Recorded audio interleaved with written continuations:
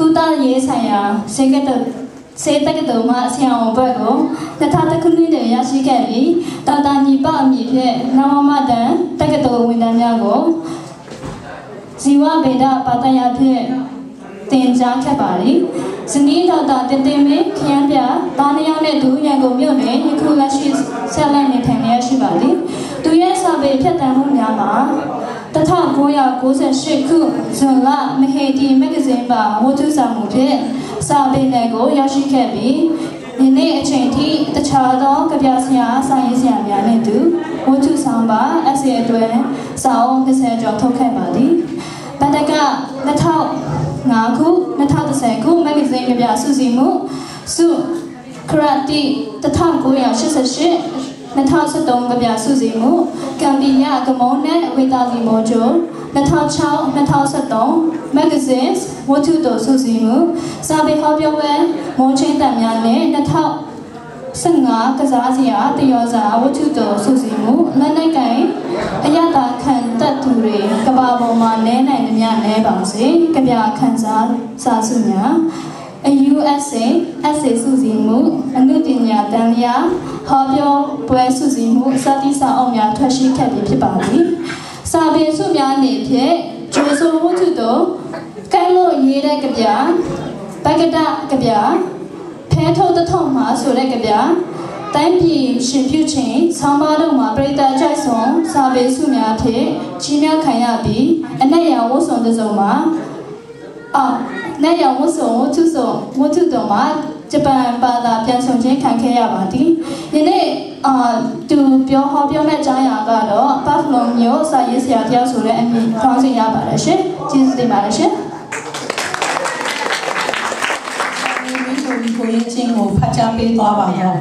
ညီမငယ်မတ်သက်နေဝရကျေးဇူးတင်ရှိပါကြောင်းပတ်တန်းတင်ရပါသည်ရှင်ခုစီစဉ်တဲ့မခွန်ရဆရာညီမင်းညိုဤ ဘဖဲလိုရောက်ကြပြဆရာတယောက်အမည်ဖြင့်ကောင်းစဉ်ဖြင့်ဟောကြားပေးပါရန်ဖိတ်ခေါ်အပ်ပါတယ်ရှင်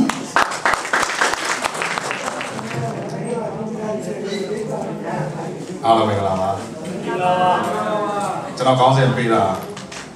ကျွန်တော်တိတ်ခက်ခဲတွေကျွန်တော်ပေးလို့ရှိပါတယ်ကျွန်တော် last week ဆရောက်တဲ့ခါမှာကျွန်တော်ကောင်းစဉ်ပေးပါတယ် last week ဆရောက်ဒီလားဆရာတရား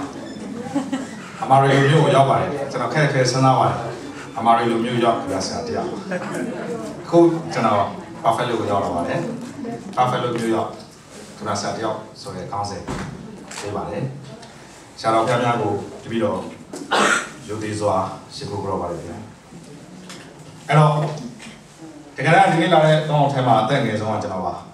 ပေမဲ့အိုးစားဆုံးကလည်းကျွန်တော်ဖြစ်နေလားမသိဘူး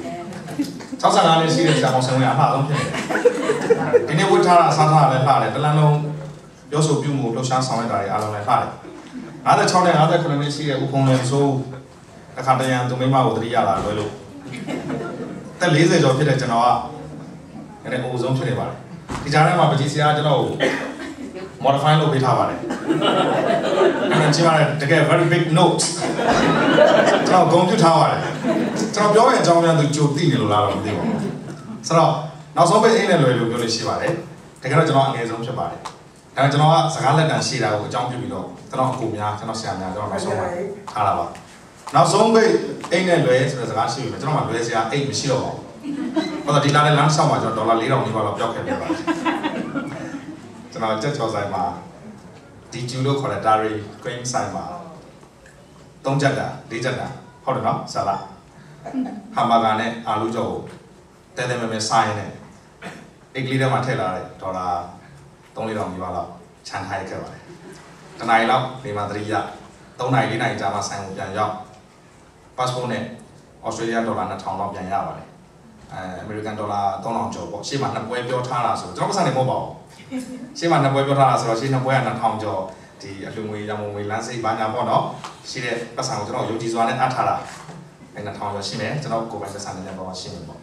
နောက်စင်ကာပူဒေါ်လာ900ဒေါ်လာရှိမယ် အဲ့ဒါလေးယူသွားပါတယ် passport နဲ့ခဏက Aussie ဒေါ်လာယူသွားပါဘူးဒီလာကန်นี้မှာကျွန်တော်ရဲ့ဇနီးတွေကအမြတ်တလုံးနဲ့လက်ကလေးကိုပတ်ပေးလိုက်တဲ့လက်ပတ်ဂျိုလီယူသွားပါဦးကျွန်တော်အမှန်ဝင်းတာပါတယ်ကျွန်တော်ရတော့ဘယ်တော့မှမရှိပါဘူးဆိုတော့ဒါရှိစရာပြောတာပါဆိုတဲ့အခါကျတော့ကျွန်တော်တို့ဒီလိုနိုင်ငံခြားကိုထွက်လာတဲ့အခါမှာပြည်တွင်းမှာပြင်ဆိုင်ရတဲ့ဒုက္ခတွေရှိတယ်ပြည်တွင်းမှာရှိနေတဲ့ဒုက္ခတွေအားလုံးကိုပြစ်ထားပြီးတော့မင်းတို့ဆိုင်ဆရာတွေက ဘောကြော့ဆန်ဆန်တွားကြပြီလားအောင်စမင်းပလီကုန်းဦးဖုံးတာတို့ညီမညိုဆိုတာပြည်တွင်းမှာဘယ်လောက်ထိကျေးလက်တော်ရပြည်သူလူထုအနှံ့အသိဉာဏ်ပညာနဲ့ပတ်သက်လို့လှူရှားဆောင်ရွက်ခဲ့တယ်ဆိုတာမှတ်တမ်းရှိပါတယ်ကျွန်တော်တို့ဘာမှပြောနေကြမလို့ပါဘူးအင်မတန်ဝေးလံတဲ့မိုင်ပေါင်းများစွာဝေးတဲ့နေရာကကျွန်တော်မိတ်ဆွေများတောင်သိကြသေးတာပဲဒါပေမဲ့ကျွန်တော်တို့ကတစုံတရာကိုမှမကြွေးကြော်ပဲနဲ့အလုပ်လုပ်ပါတယ်ကျွန်တော်မေးပါတယ်ထောင်မနေအကြောင်းတယ် မေးတဲ့မေးခွန်းကအင်မတန်ပညာပါပါတယ်ထောင်ကနေရကြာဘူးလေလို့မေးတာပါဘယ်နှစ်နှစ်ကြာဘူးလေလို့မေးတာပေါ့ပါတရက်မှမကြာဘူးတော့သိလို့မေးတာပါကျွန်တော်တို့ကလည်းဖြေပါတယ်တရက်မှမကြာဘူးပေါ့အရေးကြီးဖြစ်တဲ့ချိန်မှာကျွန်တော်လည်းတက်စားနေပါတည်သွားတဲ့မဝဲမော်ဦးနဲ့တက်တူတူပါနားမလဲပါဘူးဂျာနယ်တွေထွက်ရောက်နေပုံနာပုံနာပြတော့ပြန်ပြေးလာတယ်ရုပ်ရုပ်လုပ်တဲ့အခါမှာစာနာထွက်ပြတယ်ခေါင်းတွေဖြတ်တော့ပြန်ပြေးလာတယ်ကလေးပဲဗျာပဲသိမလဲ ဒီလိုနဲ့ပြည်တွင်းမှာနေရင်အသက်တွေကြီးလာပါကျူရှင်ဆရာဘဝနဲ့အသက်မွေးပါတယ်ကိုတိုင်းပြည်ရဲ့အားနဲ့ချုံချက်တွေကိုသိလာတဲ့အခါမှာကျောင်းဆရာတယောက်ကျူရှင်ဆရာတယောက်အနေနဲ့ပိတ်ပင်တားဆီးထားတဲ့ဂျားတွေကစာသင်ခန်းတွေထဲမှာကလေးတွေကိုသင်ကြားပေးပါတယ်နိုင်ငံရေးအကြောင်းတွေပြောလို့ထုတ်ခံရတဲ့ကျူရှင်တွေပေါ်လာဆောင်တွေလည်းအင်မတန်များပါတယ်အဲ့ဒီပေါ်လာဆောင်ကျောင်းကျောင်းကရမယ်ကျောင်းသားက9000တသိန်းဟာကျွန်တော်မိသားစုအသက်ရှင်ရမယ်လောက်ခလာစားဖြစ်ပါတယ်ဒါပေမဲ့ကျွန်တော်ကနိုင်ငံရေးအကြောင်းတွေပြောလို့ ကျွန်တော်ကိုအချိန်ချင်းဝန်နေပေးပါတယ်သို့တော့စာသင်ကောင်းတယ်ပေါ့လေသူတို့ရဲ့တမန်ချက်ရကျောင်းသူကျောင်းသားတွေကချစ်တဲ့ဆရာတယောက်ဖြစ်တဲ့အခါကျတော့စကားကြွယ်တဲ့သူတယောက်ဖြစ်တဲ့အခါကျတော့ကလေးတွေရဲ့နှလုံးသားကိုတင်းကျုံယူနိုင်တဲ့ဆရာတယောက်ဖြစ်တဲ့အခါကျတော့ရုပ်ရထုတ်ပလိုက်ဖို့မလိုဘူးကျွန်တော်ကိုကျွန်တော်ကဇီဝဗေဒဘာသာရထင်ပါတယ်ရတဲ့ဘွဲကပစ္စံစိတ်ကူရှာဝင်ဘွဲပါဆိုတော့ဘာသာရကိုကျွန်တော်ကျွမ်းကျင်ပိုင်းနေတယ်ကလေးတွေကိုတနာရီဘွဲဆိုတဲ့စာသင်ချိန်မှာဘယ်တော့မှတနာရီဘွဲပြည့်ကျွန်တော်စာမတင်ပါဘူးစာသင်တာဟာမိနစ်90 စာသင်နေဦးကျွန်တော်မိနစ်90ထားပါတယ်10မိနစ်က repetition အတွက်ကျွန်တော်10မိနစ်သုံးပါတယ်15မိနစ်ကတော့ကျွန်တော်ပြောချင်တာပြောပါတယ်နောက်15မိနစ်ကိုတော့ကလေးတွေရဲ့တိုင်းပြည်ရဲ့အခြေအနေကဘယ်ကဲ့သို့ဘယ်ချမ်းသာဆိုတဲ့စကားလုံးလေးတွေစာအုပ်စာပေဆိုတာဖတ်ရှုဖို့လိုတယ်ဆိုတဲ့အကြောင်းလေးတွေကျွန်တော်ပြောလို့ရှိပါတယ်ဒါကြောင့်အချိန်ချင်းကျွန်တော်စီးပွားဥစ္စာထိကြိုက်တဲ့အထိဒီလိုမှရုန်းကန်ခဲ့ရပါတယ်အဲ့ဒီလိုကနေပြီးတော့စာပေစင်မြင့်တစ်ခေတ်ဆန်းလာတဲ့အခါမှာမမျော်မလင့်ပါပဲနဲ့ကျွန်တော်စာပေစင်မြင့်ပေါ်ကိုရောက်ခဲ့ပါတယ် စာရေးတဲ့ကနှစ်20လောက်ရှိပါပြီကျွန်တော်ကိုညီမင်းညိုရဲ့လို့ကောင်းကောင်းမွန်မွန်သိတာကတော့9နှစ်လောက်ပဲရှိပါဘူးဒါကြောင့်ပြည်တွင်းမှာကျွန်တော်အများအားပြောပါတယ်နိုင်ငံတော်သမ္မတဦးသိန်းစိန်ရဲ့တက်တန်းနဲ့ညီမင်းညိုရဲ့တက်တန်းအတူတူပါပဲလို့2010မှာသူသမ္မတအဖြစ်တာဝန်စယူပါတယ်လို့2010မှာစာရေးဆရာခင်ဗျာဆရာညီမင်းညိုကစင်ပေါ်စတက်ပါတယ်2016မှာဦးသိန်းစိန်နဲ့ညီမင်းညိုဘသူကစင်ပေါ်မှာဆက်ပြီးကြံရည်မယ်ဆိုတော့စောင့်ကြည့်ရမယ့်ကိစ္စပါ အဲ့တော့ပြည်သူလူထုကထောက်ခံရင်သူဟာသမ္မတတယောက်အနေနဲ့ဆက်ရှိမယ်ကျွန်တော်ကလည်းပြည်သူလူထုကချက်ခင်တဲ့စာပေလူပြတာကအဖြစ်ဆက်ရှိရင်ကျွန်တော်စင်ပေါ်မှာဒီလိုစကားတွေတုံ့ဆိုဝင်ရပါလိမ့်ဦးမယ်အဲ့တော့ကျွန်တော်ကျွန်တော်ရတဲ့ဘွဲကိုအကြောင်းပြပြီးတော့ကျွန်တော်ကပြည်တွင်းမှာနောက်တိနောက်တော်တွေပြောလို့ရှိပါတယ်ကျွန်တော်ဆရာဝန်ကြောက်ပါလို့ကျွန်တော်ကိုဒီရက်ဒီကျော်ကဖိတ်တာကတော့စာပေဟောပြောဖို့ဖိတ်တာပါဒါပေမဲ့ကျွန်တော်ကပေးသက်ကိုကြည့်ပြီးတော့သရာယူဖိတ်လာတဲ့အတွက်ရတဲ့အချိန်လေးအတွင်းမှာ ကြည့်ရသူကြည့်ရသားများရဲ့အကြမ်းမှန်ရေးကိုကျွန်တော်တတ်နိုင်သမျှကုသပေးချင်ပါတယ်ကြည့်ရသူကြည့်ရသားတွေပျော်သွားကြတယ်ကျွန်တော်ဆက်ပြောပါတယ်တခုလို့ရှိပါတယ်လို့ကျွန်တော်ခရစ်စတန်ရှိခုရှာမှာပါလို့ကိုကိုကိုခရစ်စတန်စိတ်ပေါက်နေတဲ့သူတွေကျွန်တော်နဲ့လာပြလို့ရပါတယ်လို့အဲ့ဒီဘာဖဲလိုကိုရောက်တဲ့အခါမှာလည်း ဘာဖဲလိုဆိုတဲ့နာမည်ကိုကခရစ်စတန်တကောင်ရဲ့နာမည်ကိုအဲ့တော့ကျွန်တော်လည်းတီးသန့်ဆွေးနွေးလို့လည်းဆိုရင်ပတ်စံတစ်ပြားမှပေးစားမလို့ပါဘူးเนาะကျွန်တော်ဆွေးနွေးလို့ရပါတယ်เนาะခွာလေးထူနေသလားเนาะရှားလေးထူနေသလားเนาะလေးပဲလာလို့တောင်းတန်းလို့ဖြစ်နေသလားပေါ့အဲ့ဒီစကားလေးကိုဒီပြီးကျွန်တော်ပြည်တွင်းမှာပြောလို့ရှိပါတယ်နိုင်ငံတော်လူကြီးတော်တော်များများကိုကျွန်တော်ကုသပေးနေတာလို့ပေးတာဝါကနေဖြစ်လာတယ်ကျွန်တော်ဒိတ်ဆန်ရှာဝင်လေနိုင်ငံတော်လူကြီးတော်တော်များများကိုကျွန်တော်ကုပေးနေတာဆိုတော့သူတို့ဘာဖြစ်သွားမလဲနေုံတော့ခင်ဗျားတို့လည်းခုတ်ပြီးတာစောလို့ နိုင်ငံတော်လူကြီးတော်တော်များများမွေးထားတဲ့ခွေးတွေကြောင်းတွေကိုကျွန်တော်ကုပေးနေတာလို့အဲဒီလိုလေးကျွန်တော်တို့ကဖြေပြောရပါအဲ့တော့ဒီခီးကိုထွက်လာတဲ့အခါမှာစောစောကပြောသလိုကျွန်တော်တို့ယုံကြည်ချက်ယုံကြည်မှုချစ်ခင်လေးစားမှုကျွန်တော်ထွက်လာတယ်ထွက်လာတဲ့အခါမှာရောက်နေရမှာအင်မတန်မှဥညွတ်စရာကောင်းတဲ့စာပေမိတ်ဆွေများနဲ့တွေ့ရပါတယ်အမှန်ကတော့ဘယ်သူမှမအားကြပါဘူးဒီနိုင်ငံမှာ time is money ပါ အချိန်အားမဆာပါပဲဒါတော့အချိန်လေးကနာရီကြာတဲ့အထိကျွန်တော်တို့လာလာကိုအတိမမပြုတ်လို့လည်းရပါတယ်ဘာမှပြဿနာမရှိပါဘူးသို့တော့ကျွန်တော်တို့ကိုချစ်ခင်တဲ့စိတ်အဲ့ဒါကတော့ကျွန်တော်တို့ခုနဒေါ်လာထောင်ပေါင်းတောင်းပေါင်းတောင်းပေါင်းများစွာဆိုတာထက်ကျွန်တော်တို့တန်ဖိုးထားတဲ့အရာတွေဖြစ်ပါတယ်ကျွန်တော်တို့အင်မတန်ပျော်ရွှင်ပါတယ်ပျော်ရွှင်တယ်ဆိုတဲ့စကားထက်ကျွန်တော်ပီတိဖြစ်ပါတယ်ကဘာကြီးကကျင်းချင်းလေးပါဆိုတဲ့စကားကိုပို့ပြီးယုံကြည်တယ်လို့မေတ္တာဟာ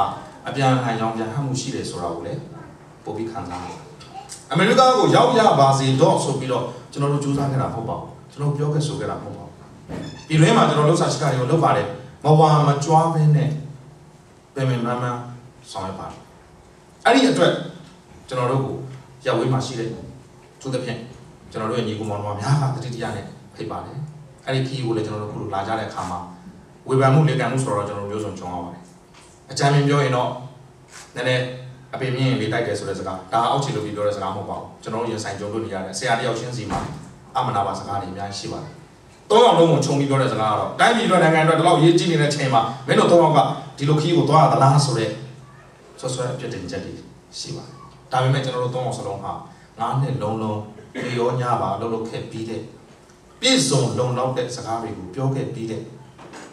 တာဝန်ကြည့်တယ်လို့ ရဲဘုံကကျွန်တော်ပြောရတဲ့စိုက်ဆက်သုံးအောင်ဖြစ်ပါတယ်ဒီအချိန်မှာပြည်တွင်းမှာဆက်နေပြီးဒီစကားတွေကိုဆက်ပြောမယ်ဆိုရင်အနည်းဆုံးပြစ်ဒဏ်ကထောင်ဒဏ်၃နှစ်ပါခဏယောဂဘက်ကော်မရှင်ဥက္ကဋ္ဌဦးတင်ထုတ်လိုက်တဲ့သူရဲ့စီမံစည်းကမ်းတွေနဲ့ဒါတွေကိုကျွန်တော်တို့ကြိုသိပြီးသားပါဒါကြောင့်မလို့ကျွန်တော်တို့ထွက်လာတယ်သို့တော့ကျွန်တော်တို့ရဲ့ပြောထားဆိုထားတဲ့ခွေပေါင်း900လောက်ရှိမဲ့အခွေတွေကကြေးတဲ့တောရွာအနှံ့မှာအလုပ်လုပ်နေပါတယ်မြန်မာနိုင်ငံမှာကြေးရွာပေါင်း6000ခွဲရှိပါတယ် ဒီကနေ့ရိုးရှင်းရှင်းစကားပြောရရင်ကျွန်တော်တို့ကဘယ်ပါတီဝင်မှမဟုတ်ပါဘူးအမှန်တရားနဲ့ပြည်သူလူထုဘက်ကရည်တည်တဲ့ဆိုင်ဆိုင်ဖြစ်ပါတယ်အကြမ်းမြင်ပြောရရင်တော့လောလောဆယ်တိုင်းပြည်မှာဒေါအောင်ဆန်းစုကြည်ကလွဲရင်တခြားယုံကြည်စရာမရှိတဲ့အတွက်ဒေါအောင်ဆန်းစုကြည်ကိုတော့ဝန်ရံကြရပါတယ်ဒါကတော့ညင်းစရာမရှိတဲ့စကားပဲသို့တော်လည်းပဲကျွန်တော်တို့ကဉာဏ်ပညာနဲ့ကျွန်တော်တို့လမ်းကိုကျွန်တော်တို့ရှောင်ထားကြပါတယ်အဲ့တော့ဒီကနေ့လွတ်တော်ထဲမှာအမျိုးသားဒီမိုကရေစီဖွဲ့ချုပ်ကကိုယ်စားလှယ်များ 42ယောက်43ယောက်ဝင်ပြီးတော့အလုပ်လုပ်နေကြပါတယ်အဲ့ဒီ40ကျော်တင်းမှာကျွန်တော်တို့နဲ့အလုပ်လုပ်တဲ့သူဟာအယောက်20ကျော်ရှိပါတယ်436ကိုလက်မှတ်ထိုးဖို့အတွက်ဆရာကြီးစကားတွေပြောရတာမပေါက်ဘူးဆရာညီမင်းညိုရဲ့အခွေကိုဖွင့်ပေးလိုက်တော့မှလက်မှတ်တွေဝေါကနေရတယ်ဆိုတာမျိုးဥပုံတော်တို့ဝေဒာရဲ့အခွေကိုဖွင့်ပေးလိုက်တော့မှလိုချင်တဲ့လက်မှတ်တွေရတယ်ဆိုတာမျိုးနောက်ဆုံးရေးပလီကုံပြောပြီးတော့မှပဲလိုချင်တာဖြစ်တယ်ဆိုတာမျိုးကျွန်တော်တို့ဘာကိုမှမမျှော်လင့်ပဲနဲ့အလုပ်လုပ်ကြပါလေ တနည်းအားဖြင့်လက်ရှိအာဏာအကြီးအကျယ်ရထားတဲ့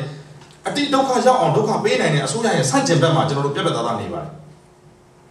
တခြားဘာမှကျွန်တော်မှထွေထွေပြောကြမှာရှိပါဘူးမင်းတို့ကသူရဲကောင်းလို့မင်းရင်အစိုးရကသူရဲကောင်းဟုတ်တယ်ဆိုတဲ့အကြောင်းတစ်ခေါက်မှမပြောခဲ့ဘူးထောင်တော်တည်းမှမကြဘူးပေါ့ဆိုကမှတော့ကျွန်တော်ဗာပြောစားရှိပါတယ်ငငယ်တုန်းကမသိလို့နားမလဲလို့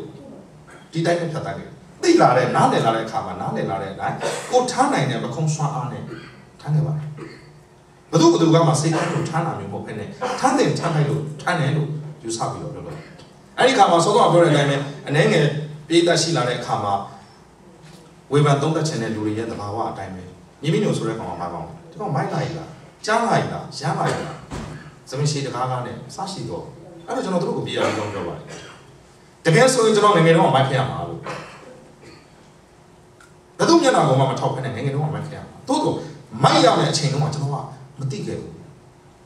အခုကျွန်တော်သိပြီဒါပေမဲ့ကျွန်တော်မိုက်ရမယ့်အချိန်မဟုတ်ဘူးကျွန်တော်ကစနီးတယ်ရှိချစ်ရတဲ့တားနှစ်ယောက်ရှိဒီအချိန်မှာကျွန်တော်ဒုက္ခရောက်ရင်ကျွန်တော်ကိုမိခိုနေတဲ့မိသားစုဝင်10ဦးမိသားစုနေတဲ့3စုနံပါတ်1ကျွန်တော်မိသားစုနံပါတ်2ကျွန်တော်မိဘအမေအဖေမရှိတော့ပါဘူးအမေနံပါတ်3ဇနီးတဲ့ရဲ့ရောက်ခမများပေါ့မိသားစု3စုလူ10ယောက်ကျွန်တော်မိခိုနေတယ် တကယ်တော့ဒီအချိန်မှာကျွန်တော်ကပူကြောက်စရာကောင်းတယ်ကျွန်တော်ဒုက္ခရောက်တာနဲ့ကျွန်တော်မိခိုနေတဲ့လူ10ယောက်မိသားစု3စုထမင်းနာမှာဒါပေမဲ့လုံးတဲ့လုံးထိုက်တာဟာလုံးကိုလုံးရမယ်ဆိုတော့အသိစိတ်ပြထားမှုနဲ့ရိုးရိုးသားသားလုပ်ပါလေပြောစားရှိတဲ့စကားတွေပြောပါတယ်လို့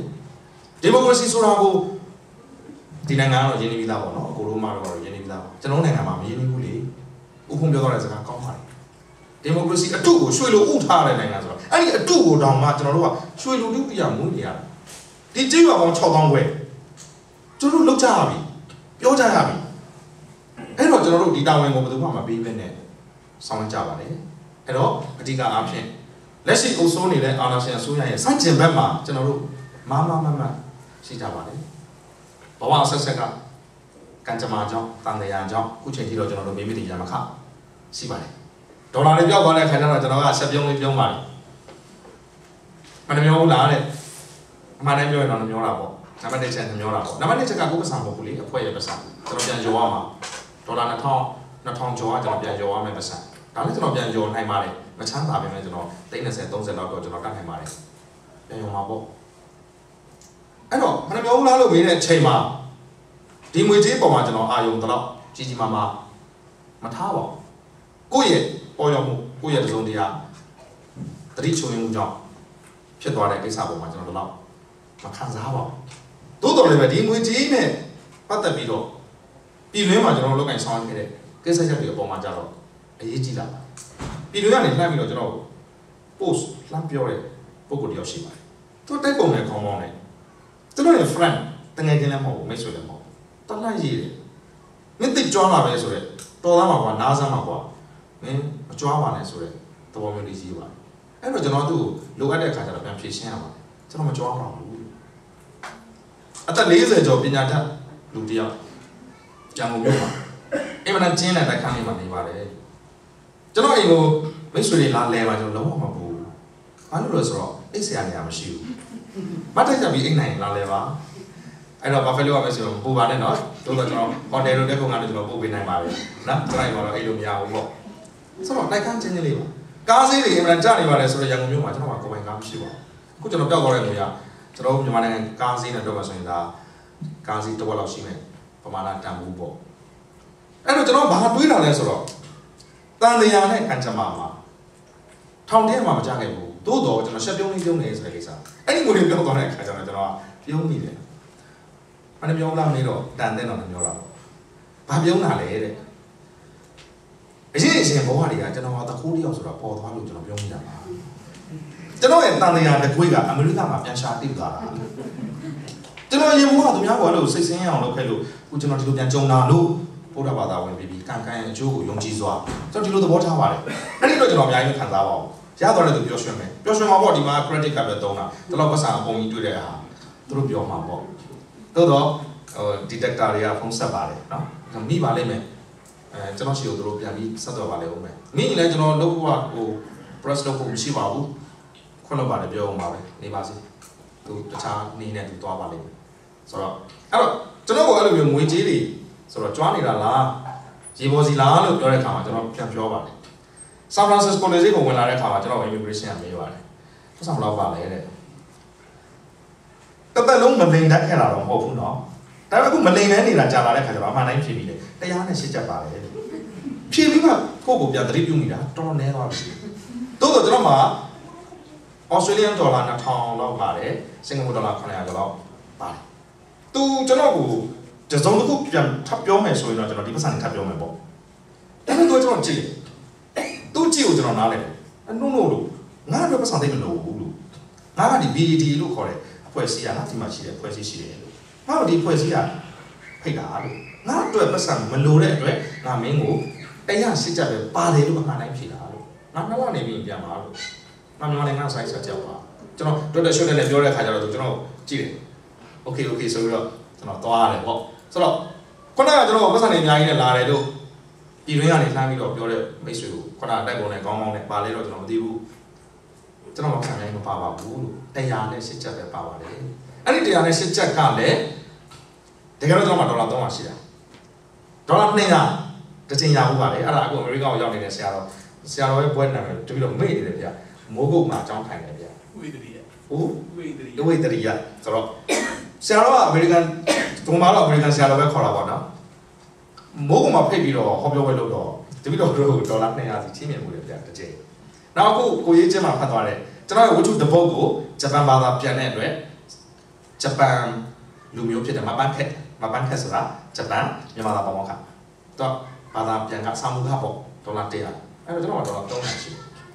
ဒီဟိုလာဟုတ်တဲ့ဗီဇာလောက်တာ192ကျပ်ကုန်ပါတယ်အဲ့တော့နေရာကိုပြန်ရင်ရှစ်ချက်ကြတယ်ကျွန်တော်ခဏစာမှုသား100နဲ့ဆိုကျွန်တော်108ကျပ်ပါအော် sorry 108ချက်မ173ချက်အဲ့5ချက်ကရေးကြည့်တယ်ကျွန်တော်ချက်ခင်ရတဲ့မိတ်ဆွေမြမသားဆရာကျူရှင်ဆရာကိုပြည့်ဆိုတဲ့ ကျူရှင်ဆရာတွားကန်ဒီမှာ5ချက်လာပြေးသွားတယ်ခင်ဗျားကိုရောက်ရင်သုံးလို့ရအောင်ဆိုပြီးတော့တရားနဲ့73ချက်ပါတယ်ဆိုတော့ဒီငွေနဲ့ကျွန်တော်ရောင်းမှာပါလို့ပြောပြပါတယ်အဲ့တော့ပြောချင်တာဒီကျွန်တော်တို့ပြည်တွင်းမှာကျွန်တော်တို့မျိုးစုံတိုက်ခိုက်ဝေဖန်မှုတွေခံရပါတယ်တိုးတော့ကျွန်တော်တို့လှုပ်ရှားရှိတဲ့လုပ်တွေကိုလုပ်ပါတယ်အဲ့တော့ဒီကိုရောက်တဲ့အခါမှာကျွန်တော်တို့ပျော်ရွှင်ရပါတယ်ပီတိဖြစ်ရပါတယ်သူတစ်ဖြစ်တော့ခုနစားရလို့တောက်ရလို့အဆောင်ဗနာတွေရလို့အဲ့လိုမျိုးမဟုတ်ပါဘူးကိုကျွန်တော်စားအုပ်တွေရောင်းရတယ် ဝယ်ပြီးတော့အားပေးတယ်ကျွန်တော်ဖျောက်ပြတာအဲ့ပြောက်သွားတဲ့မှာစားအုပ်ဖိုးတွေပါတယ်တုပ်ကို30 15ချက်တကယ်တော့ကျွန်တော်တို့ဗမာငွေနဲ့တွင်3000လောက်ပဲတန်တာစားအုပ်တုပ်ကိုဒီမှာ30 15ချက်ဗမာငွေနဲ့တွင်အများကြီးပဲဒါပေမဲ့ချစ်ခင်စွာနဲ့ဝယ်ပေးကြတယ်ပြီးရင်ဒီကနေကျင်းကြတယ်အမကြီးကကျင်းကြတယ်ဆိုင်းချာတွေကိုဖြူဖို့အတွက်ဘာညာဆိုတော့ကိုယ့်ကိုဝတ်ဖြူစင်ကြယ်နဲ့ ဖိုးသူတော်လိုလိုဘာလို့လို့အောင်ပြီစုံစမ်းတဲ့ရလူခံနေတာလားမသိဘူးပေါ့နည်းနည်းတော့ပဲရှက်တယ်ကြာပါလေဆိုတော့ဒါပေမဲ့ကျွန်တော်လည်းငမွဲတွေပါနော်ကျွန်တော်ငမွဲတွေဆိုတော့ရှက်တာလည်းရှက်တာတော့တပိုင်းပေါ့နော်သူကပေးတာကျွေးတာစားတာတောက်တာနေတာထိုင်တာလည်းတပိုင်းပေါ့ဗျာဒါပေမဲ့ကျွန်တော်မှတော့ဟိုမတော်တော့ပါမရှိပါဘူးတခါတည်းမှာပစ္စည်းလေးတစ်ခုကိုကွာဝယ်ခြင်းတယ်အဲနောက်ကလိုက်နေတဲ့မိတ်ဆွေကနော်ကျွန်တော်နာမည်တက်မပြောတာအတိတ်ပဲတစ်မျိုးပေါ်သွားမှာဆိုလို့ပါနော်ချစ်စရာကောင်းတဲ့မိတ်ဆွေတွေဘာဖယ်လိုမှာအများကြီးရှိပါတယ်တခုဝယ်မယ်ဆိုရင်ဆရာဝယ်ဝယ်ဝယ် ပတ်စံပေးမယ်ဆိုသူကကတ်နေပေးမှာဆိုကိုပတ်စံပေးလို့မရဘူးပြီးရင်သူတို့ကကျွန်တော်မဟုတ်ဘူးအဲ့လိုမလုပ်ချင်ဘူးကျွန်တော်ဒါလေးတော့ဝယ်ပြစီ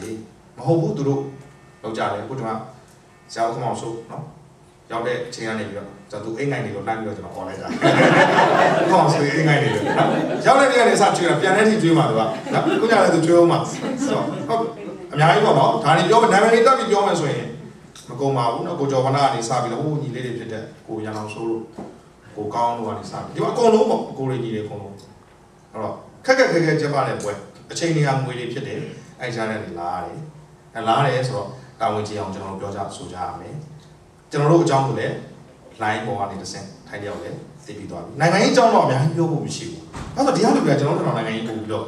ကျွမ်းကျင်သေးတယ်လို့ကျွန်တော်ထင်ပါတယ်နော်ပို့ပြီးသိကြသေးတယ်ဆိုတော့နိုင်ငံရေးအကြောင်းတွေတော့ကျွန်တော်တို့ပြောစရာအကြောင်းတိုးတော့အဲ့ဒီနိုင်ငံရေးအကြောင်းကကိုကဖယ်ပေမဲ့ ။ तू ကကိုလာလာပတ်သက်နေတာခက်တယ်။ကိုယ်တို့ဖယ်လို့ရတယ်။ဒါ तू ကကိုမဖယ်ဘူး။လာလာပတ်သက်နေတယ်။အဲ့တော့ရှေ့ကဆရာဦးဖုံသူစိတ်ဝင်စားတဲ့အကြောင်းကိုသူပြောတယ်ဗာလေငြိမ်းချမ်းရေးချစ်ပြောင်းငင်းစီပြောပါဆရာမောင်စင်ဝင်းအမေနဲ့အေယာဝင်းနဲ့အဲ့သူတို့သူတို့တန်ရတန်ရပြောတဲ့သဘောပေါ့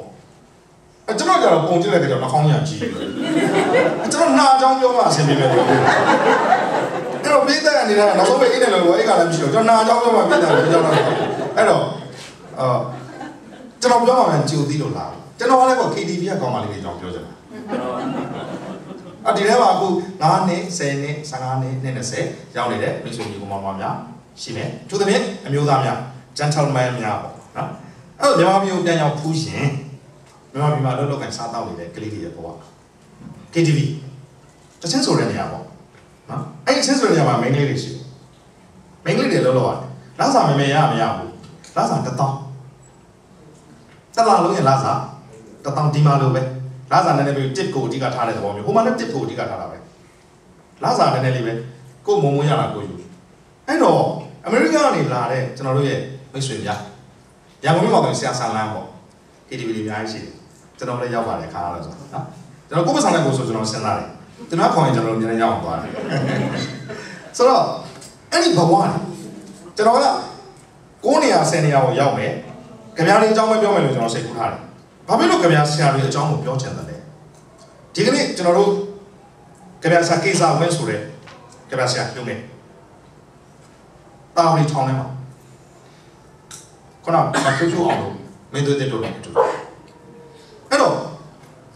အဲ့ဒီ ကိစ္စမှာအခုကြပြဆရာထောင်ထဲမှာရှိနေလို့ထောင်ချခဲ့တဲ့ကြပြဆရာတွေလည်းအများကြီးပဲနိုင်ငံရေးလောကမှာဒီကြပြဆရာတွေဟာချမ်းသာကြောရတဲ့လူတွေလောက်လောက်လောက်မရှိဘူးကြပြတပုတ်ရဲ့ဆာမူကဘယ်လောက်ရလဲဆိုလို့ရှိရင်အခုတော့ပေါင်းကနေရတယ်တပေါင်းပေါ့တပေါင်းတန်ထွက်လို့ကိုယ်လိုငယ်တဲ့နှစ်နှစ်သုံးနှစ်တပေါင်းတန်မထွက်ခင်တုန်းကမြန်မာနိုင်ငံမှာအမြင့်ဆုံးပတ်စံ9000အဲ့ဒီအချိန်မှာကျွန်တော်ကိုစားကနာနဲ့ဟောပြောတဲ့ကိုပြောတယ် အဲ့ဒီအချိန်မှာအမြင့်ဆုံးပတ်စံ9000စကားတစ်ခုကျွန်တော်ပြောခဲ့တယ်ခင်ဗျာတပုတ်ကိုစာမူက9000ပေးတယ်အဲ့ဒီပတ်စံ9000ကိုလိုချင်လို့ကြပြဆရာကြီးကြပြရေးတာမဟုတ်တာတော့သိချတယ်အဲ့ဒီပတ်စံလေး9000အတွက်နဲ့1500လောက်ပြောင်းခဲ့ရအောင်လည်းများပါပြီကြပြဆရာကြီးဘက်ကကြပြဆရာကြောင့်ဖြစ်တယ်ကျွန်တော်ပြောဒီကြပြဆရာတွေဟာပတ်စံလည်းမယ်မယ်ရရမရဖမ်းမယ်စီးမယ်ဆိုရင်ခြေဆုံးကထောင်ထဲကိုမရရဒီကြားထဲကပဲဒီကြပြလူပညာနဲ့ ပေါ်ကျွနေတဲ့သူတွေအဲ့တော့ကျွန်တော်ပြောမှသည်ဆရာသခင်ကိုရောမိုင်းဆရာကြီးသခင်ကိုရောမိုင်းเนาะကျွန်တော်တို့ရဲ့အဖိုးပေါ့ဆရာကြီးသခင်ကိုရောမိုင်းဆရာဇော်ကြီးဆရာမင်းတို့ဝင်ဒီဒီကြပြလေးကိုကျွန်တော်မပြောတော့ဘူးကျွန်တော်အခုပြောမှသည်ကျွန်တော်တို့တက်တန်းကျွန်တော်အသက်40ကျော်ဒီ5 60အရွယ်အတွင်းမှာနှစ်30 40ဖြတ်သန်းခဲ့ရတဲ့ကြပြမင်းနဲ့ကြပြဆရာကြီးရဲ့ယက်တီမှုကိုဒီဘတ်ဖယ်လိုမှာရှိတဲ့စာပေချင်းမိတ်ဆွေများကိုပြောပြခြင်းဆရာမောင်ဆောင်ရဲ့လည်းသူကရတာအကြောင်းပြောသွားတယ် ရတာမှာလူရဲ့နှလုံးသားကိုပြောင်းလဲစေတယ်ကိုချင်းစာတရားကိုပေါ်ပေါက်စေတယ်လူတွေဟာအမှုပညာနဲ့နီးလေလေအကောင်းဆုံးပဲကောင်းလေလေပဲလူဟာအမှုပညာနဲ့နီးလေလေလူပိသားလေလေဘာဖဲလူကိုရောက်နေတဲ့ညမာလူမျိုးတွေအမေရိကန်နိုင်ငံသားခံယူပင်မဲ့မြန်မာမြန်မာပဲလေမြန်မာစာနဲ့မြန်မာစကားဆိုတာပြောက်သွားတာမဟုတ်လားဆိုတော့ဒီနှလုံးသားတွေကိုယဉ်ကျေးမျိုးထွေးဖို့ဆိုတဲ့ကိစ္စဒီ ကျွန်တော်တို့မြန်မာစာပေအမှုပညာမြန်မာကြပြဆိုတာခိုက်တဲ့နေရာကနေပြီးတော့တာဝန်ထမ်းဆောင်ကြလိမ့်မယ်လို့ကျွန်တော်ထင်ပါတယ်အဲ့တော့ကျွန်တော်နိုင်ငံမှာဒီလိုပေပေဆုပ်ဆုပ်နေပြီးတော့ဘဝကိုခက်ခက်ခက်ဖြတ်တန်းပြီးတော့အစိုးရကိုပြောင်ပြောင်တင်းတင်းပြက်ပြက်သားသားဆန့်ကျင်ပြီးရပ်တည်နေတဲ့ခင်ဗျာဆရာလူလန်းစားတစုရဲ့အကြောင်းအရာလေးတွေကျွန်တော်ကပြောရည်ရထားပါအဲ့ဒီထဲမှာဘဝတစ်ခုအဲ့ဒီဘဝတစ်ခုကဘာလဲဆိုတော့ခုန KTV ဆိုင်မှာအလုပ်လုပ်ရတဲ့ကလေးမလေး ဘာဖြစ်လို့ KTV ဆိုင်ကိုရောက်တယ်လဲ KTV ဆိုင်ဆိုအလုံးသိတယ်မျိုးသားများလာပြီးချင်းဆိုပဲကောင်းမွန်မွန်စားမယ်တော့မယ်ခဏခဏကောင်းပါလေးတွေလှလှပပဝတ်စားပြီးဖြစ်နိုင်ရင်အတူအပြတ်ခန္ဓာကိုယ်တစ်ခုလုံးကိုခုနကစေတနာရှိရှိပေါ့ရဲရဲရောရောပေါ့လုံနိုင်လေလေသူ့ရဲ့ tip money ပိုရလေလေနောက်ဆုံးအဲ့ချက်ပို့ပြီးအခွင့်အရေးပေးနိုင်လေလေဟောနောက်ဆုံးသူသွားမယ်ပန်းနိုင်သူသွားမယ်လမ်းဒီပဲကိုရောက်တယ်ဘာကြောင့်ဒီလိုဖြစ်တယ်လဲ ရွှေပြည်သာဆိုတော့စမှုဆောင်ရှိတယ်လိုင်သာယာဆိုတော့စမှုဆောင်ရှိတယ်ရွှေလန်ဘန်းဆိုတော့စမှုဆောင်ရှိတယ်အဲ့ဒီစမှုဆောင်တွေမှာအလုပ်လုပ်ရတဲ့ကလေးမလေးတွေရဲ့လောက်ခါလာစားတရက်ကို၄တောင်ရဖို့တိုက်ပွဲဝင်တယ်စာနာပြတဲ့ကလေးတွေဖန်ခံရတယ်တရက်ကို၄တောင်ရဖို့ဖန်ခံဘယ်သူတွေကိုဖမ်းပြီးဘယ်သူတွေကိုလွတ်တယ်ဆိုတာကျွန်တော်မပြောတော့ပါဘူး online ပေါ်မှာအများကြီးတည်ပြီးသားပါတက်ခုတ်တဲ့သူတွေတက်ကားရေးစင်900လောက်နဲ့လာတယ်လူ150လောက်နဲ့လာတယ်အားပါရခုတ်တယ် ထောင်ကကနဦးထောင်က6လနောက်ပြီးတော့ချလိုက်တာသက်သက်တကြောအသက်မပြည့်တဲ့နှစ်ယောက်ကိုထောင်က10နှစ်သို့တော့ရှစ်ရက်အကြာမှာနိုင်ငံတော်သမ္မတရဲ့လူရင်းချလာခွင့်နဲ့ပြန်ထုတ်လိုက်တယ်ကတ်တော့ဆရာကတ်တော့ဆွဲပါတယ်စက္ကန့်60မိနစ်မိနစ်60တနာရီ24နာရီတရက်ရှစ်ရက်တက်တက်တကြောကတ်တော့ဆရာကတ်တော့ဆရာရှစ်ရက်တက်တက်တကြော အဲ့တော့ကျွန်တော်တို့သိလိုက်တာကဟာဥပဒေကဒီကိုတက်တွေကိုအားပါလာခုတ်တဲ့သူတွေကြတော့ရှင်းရတယ်လုပ်လိုက်ဒါကိုမကျင်တဲ့လို့ဝမ်မောင်ကုမ္ပဏီရှေ့မှာသွားပြီးဆန္ဒပြတဲ့နေမျိုးစင်တို့ပူကြီးအောင်နေမျိုးစင်တို့နော်အောင်ဟာတို့အစိန်ထွေးတို့တင်ထုတ်ပိုင်တို့ပုံမှန်မျိုးစုံနဲ့ထောင်၄နှစ်နဲ့၄လချကျူးလွန်တဲ့အဖွဲ့အစည်းကိုရှေ့ရနဲ့ပြန်လုပ်ပြီးတော့မကျင်တဲ့လို့ဆန္ဒပြတဲ့ပုံကူများကို၄နှစ်နဲ့၄လချဥပဒေဆိုတာဘာလဲ တို့တော့အဲ့ဒီချိန်မှာကျွန်တော်တို့ကပြောကြပါတယ်တကယ်တော့ခိုးခုတ်တာမဟုတ်ဘူးပေါ့လေတရားဝင်ခုတ်တယ်ဆိုတဲ့အကြောင်းလက်ပြီးလက်ယူလုပ်ပြီးခုတ်တယ်ဆိုတဲ့အကြောင်းတနင်္ဂနွေဒဇင်ဘာမှာဆိုတဲ့အခါကျတော့မထုတ်လို့မရလို့ပြောရတယ်ဆိုတဲ့အကြောင်းကျွန်တော်နိုင်ငံမှာအင်မတန်ရှုပ်ထွေးပါတခါတရံမှာစဉ်းစားမိပါတယ်ဘလို့အုံတော့ဘလို့နှလုံးသားမျိုးနဲ့မြန်တိုင်းပြည်ကိုစီမံခန့်ခွဲနေတယ်လေကျွန်တော်တို့ကသွားခဲ့တဲ့ခရီးတွေဒီဆန်ဖရန်စစ္စကိုကနေပြီးတော့ Las Vegas Las Vegas ကနေပြီးတော့ဆရာကျွန်တော် Las Vegas ကနေပြီးတော့ဘယ်ကိုလဲဆရာ Las Vegas ကနေပြီးတော့ Amarillo Amarillo ကနေပြီးတော့ Fort Wayne Fort Wayne ကနေပြီးတော့ Buffalo မိုင်900ကျော်800ကျော်ကားမောင်းတာ7နာရီ9နာရီ10နာရီ17နာရီ17နာရီရန်ကုန်နဲ့မန္တလေးအဝေးပြေးလမ်းမရဲ့အကွာဝေးရမိုင်400မပြေဘူးသေတဲ့နှုံးကတက်မိုင်ကိုတယောက်မကတော့ဘူးစာမောဆိုရင်ကောင်းစီရဲ့ဝေးရောက်လာမင်းကောင်းစီရဲ့ဝေးမင်းလည်းမရှိနဲ့လေဆရာကပုံပြီးပါလို့ဖြစ်နေတော့ငါလည်းမရှိဘူးမင်းလည်းမရှိနဲ့လေဒီလိုပြောပါတယ် မိုင်လေး400မပြည့်တဲ့လမ်းတမိုင်တယောက်မကတော့ဘူးသေးလားခုလာကနေဒဇင်းဒဇင်းမောက်တာမောက်လိုက်တဲ့ကားတွေမှန်မှန်ကြည့်လိုက်လို့ရှိရင်လည်း9ယောက်10ယောက်တည်ပြီးသားပဲဟုတ်ပြီအဲ့ဒီလမ်းကြီးဘာလုပ်မလဲပြင်ရမယ်ဟောနိုင်ငံတော်အစိုးရဖွဲ့ကကြေညာချက်ထုတ်တယ်အဲ့ဒီလမ်းကြီးအဲ့ဒါလိုဖြစ်နေတဲ့အတွက်24မိုင်လင်းရင်စိတ်ယုံတည်ုံလုံးဆောင်ဘူးအိုးမကောင်းတဲ့လမ်းကိုပြင်ရမှာမဟုတ်ဘူးလားအခုတော့24နာရီ24မိုင် ကိုစိတ်ယုံတည်ုံလုံးဆောင်မယ်ဆိုတော့မင်းတို့ပေါ့ချက်တော့ပေါ့ကြောက်ဆိုတဲ့သဘောပေါ့တခါတည်းရတော့နော်ဒီကမိတ်ဆွေများသိမှာပါ online ပေါ်မှာကြားနေရမှာဘယ်လိုအုံနောက်တွေ့နေလဲတို့တွေဆိုနေတာလဲတာမန်ကလေးတယောက်တော့သိနိုင်တဲ့ကိစ္စမျိုးကိုကိမိကောထောင်ပြီးတော့မြန်စဉ်းစားပြီးပြောဆိုနေသလားလို့ဒါတွေကိုပြောရင်ကျွန်တော်ပြောချင်တယ်နော်အလှပါတွေစောစောပြောတဲ့ပြက်ကုန်ပါလိမ့်မယ်အဲ့ဒီစကားတွေကိုမကြားလို့အကိုလုံးမတော့ဝင်မနေနဲ့ပြည်တွင်းရောက်ရင်ကျွန်တော်ပြောဦးမှာပြောပြီးသားတွေလည်းရှိတယ် ကျွန်တော်ဂရိတစ်ခုပေးခဲ့တာရှိတယ်ဒီမှာနားထောင်ရတာခွေ10ခွေ15ခွေဒီထက်မပိုဘူးကျွန်တော်တို့ဆရာတို့အားလုံးပြောခဲ့တာခွေ900ကျော်ရှိတယ်အဲ့တော့ကျွန်တော်ဒီကနေပြီးတော့ပြည်တွင်းကိုပြန်ရောက်ရင်အဝေးရောက်မိတ်ဆွေများအတွက်လုပ်ပေးမယ်အလုပ်ဒီအဲ့ဒီအခွေတွေကို line ပေါ်မှာကြည့်လို့ရအောင်နောက်ဆုံးငွေကြီးတစုံတရာကုန်မယ်ဆိုလည်းကုန်ပါစေတရားမိတ်ဆွေများကဒါကျွန်တော်တို့ပြန်လုပ်ပေးနိုင်တဲ့ဟာပေါ့။ဘာလို့ကျွန်တော်တို့ပြောခဲ့တာယာနဲ့ချီတယ်လေဒီမှာ15ဝေပဲနားထောင်ရတာ။ဒါကိုကျွန်တော်တို့ပြန်လုပ်ပေးပါမယ်။အဲ့တော့ဒီ Buffalo မှာကတော့ဖြင့်ကျွန်တော်ပြောချင်တဲ့အကြောင်းအရာလေးကိုပဲ ပြောပြစီ။အဲ့တော့ဘာကြောင့်ဒီကလေးတွေ KTV ကိုရောက်တယ်လဲ။ကျွန်တော်လုပ်ပြီ။လောက်ခလောက်ဆို၄တောင်မရဘူး။အဲ့တော့ဂျားဝင်ပြီးတော့လောကဝင်ကြီးကဆုံးဖြတ်လိုက်တယ်3600ပေးမယ်။3600ပေးမယ်ဆိုတော့အချိန်မှာအလုပ်ရှင်တွေကအစည်းအဝေးတစ်ခုလုပ်တယ်။2500တက်ပုံမပေးနိုင်ဘူးပြဿနာလေးရှိတယ်။ဟိုလက်စင်ဒီမမနာလို့တော့ infrastructure မပြည့်စုံတာလို့အခုတော့ဖြစ်3600ကိုတတ်မှတ်လိုက်ပြီလို့ပြောပါတယ်။ထားပါတော့3600ရကြမယ်။တရက်လောက်ခ3600 ရကြမယ်။ဆိုတော့အဲ့ဒီချိန်မှာပဲ KFC fried chicken ကမြန်မာနိုင်ငံမှာလာဖွင့်ပါတယ်။တက်တော့နှစ်တုံးပါတဲ့တက်တော့မြန်မာနိုင်ငံဖွင့်လိုက်တဲ့ခါကျတော့မြန်မာနိုင်ငံမှာ first day first show တောက်ကြနေကိုယူတဲ့လူရန်သားရှိပါတယ်။တောက်ကြနေမှာပထမဆုံးပွဲကိုကြည့်လိုက်ရမှာသူဟာတကယ်ကိုအစီအနဲ့လူရန်သားလို့ထင်တယ်။အဲ့တော့ဒီတက်ကြော်ကို3နိုင်လောက်ကြာအောင်တန်းစီပြီးစားတဲ့သူတွေစားတဲ့သူအဲ့ဒီချိန်မှာကောင်မလေးတယောက်ကလေးမလေးတယောက်ဂါဝင်ဝဲဝဲလေးနဲ့တရခါဘဲစားလေးနဲ့ လက်ထဲမှာပတ်စံလေးတွေစုပ်လို့အဲ့ဒီပတ်စံလေးက90နဲ့100နဲ့200လား200 300 400ပြောင်းလဲတောက်ပါတဲ့ light box ကိုကြည့်ရင်းနဲ့ကြက်ကြော်ပုံတွေပြေးနေတာကိုကြည့်ရင်းနဲ့တန်းစီနေတဲ့လူကိုကြည့်ရင်းနဲ့စားချင်တဲ့ပုံနဲ့ငေးနေတဲ့ကလေးတယောက်အဲ့ဒါကို11 million ကတရင်တော့တယောက်ကဓာတ်ပုံရလိုက်တယ်သူ့ line ပေါ်မှာတင်လိုက်တယ်ကျွန်တော်နိုင်ငံရေးရဲ့ကျွန်တော်တို့နိုင်ငံရဲ့အခြေအနေကိုသိချင်တခြားဘာမှမကြည့်ပါနဲ့ Facebook လူမှုကွန်ရက်စာမျက်နှာကိုကြည့်ပါအင်မတန်ကြောက်စရာပေါ့ အဲ့ဒီပုံတက်ပြီးတဲ့အချိန်မှာရလာတဲ့ comment တွေထောင်နဲ့တောင်းနဲ့ရှိတဲ့ comment တွေထဲမှာအများအားဖြင့်ကရေးတဲ့ comment ဘယ်လိုမိမဆုံးမဟမ်ဆုံးမကလေးတွေအဲ့တလောက်တော့ငတ်တလားတတောင်းစားမှာဟာဒီမှာကြက်ကြော်တဲ့ဘဲကိုတော့တော့နေအောင်တန်းစီပြီးစားလိုက်လို့တော့ငေးနေတဲ့ကလေးမလေးကိုရေးတယ်အဲ့တော့အဲ့ကြားထဲမှာမပါဘူးလားပါတယ်ပါပါတယ်လေငါသာဆိုရင်နှစ်တုံးရတစ်တုံးကိုကျွေးလိုက်ပါတယ်ငါသာဆိုရင် ဆိုတော့ကိုချင်းစာတရားကိုစာနာပြုတဲ့ comment လေးတွေလည်းပါပါတယ်သို့တော့အင်မတန်နှလုံးညင်နွမ်းစွာနဲ့ပြောတဲ့ comment တွေအင်မတန်များပါတယ်သူများစားနေတော့နေတာကိုအဆရှိတော့ဆိုတော့ကျွန်တော်တိုင်းပြည်ကျွန်တော်နိုင်ငံရဲ့ခြေနေသည်ရုပ်ပိုင်းဆိုင်ရာကမလို့တတ်တယ်လို့စိတ်ပိုင်းဆိုင်ရာကလည်းအင်မတန်ပျက်စီးညှိုးနွမ်းတဲ့အောက်တန်းကျတဲ့နိုင်ငံတစ်နိုင်ငံဖြစ်နေတော့တွေ့အဲ့တော့ဒီတက်ကြော်ကဘာကိုပြောချင်တာလဲဆိုရင်တနေ့ကုန်လောက်ခ3600အတွက်တိုက်ပွဲဝင်ထားရတဲ့ကလေးတွေခမညာ တက်ကြော်တစ်ပွဲကို3200ဆိုတာလောင်ပြောင်နေတာများလားဒီလိုနဲ့ကျွန်တော်တို့ရဲ့အလုပ်သမားလေးတွေဟာအထည်ချုပ်ဆက်ရုံမှာသူတို့ရဲ့ဆက်ရုံလုပ်ရုံနေမှာဘဝကိုဖြူဖြူစင်စင်ရိုးသားသားမဖြတ်တန်းနိုင်ကြတော့ဘဲနဲ့မိသားစုတာဝန်နေနဲ့သူတို့လမ်းမစရာအကြောင်းတွေပေါ့အဲ့ဒီချိန်မှာကျွန်တော်စတီးတိုင်းစတီးခွက်စတီးဖလားစတီးခွက်ခက်ကတခါတည်းမှာဖောင်းပြောင်းလာလို့တိတ်ရက်စီမပါ စီမပါ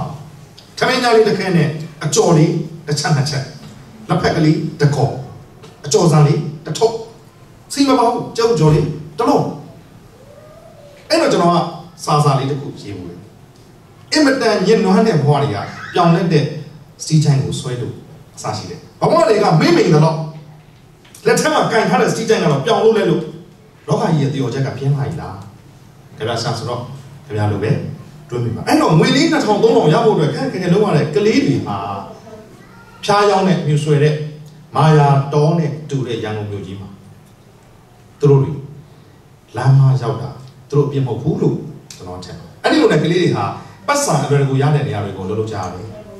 ဒီမှာပတ်စံကိုခက်ခက်ရှာရတဲ့အနေထားနဲ့ခုနကမိုးဆိုးတွေရှိပါတယ်နော်မင်းကလေးတွေကိုမိုးဆိုးလို့လိုက်နေတဲ့သူတွေရှိပါတယ်ဆက်ယုံကညင်နွမ်းနေတဲ့ကလေးတွေကိုမြူဆွဲတဲ့သူတွေရှိပါတယ် အဲ့ဒီလိုနည်းနဲ့မီးရောင်ထိန်ထိန်လက်လက်တောက်တောက်ပပအောက်မှာအလုတ်ဝင်လုံးချတဲ့ကလေးတွေပထမတော့ကိုယ့်ကိုထိန်ထိန်ရင်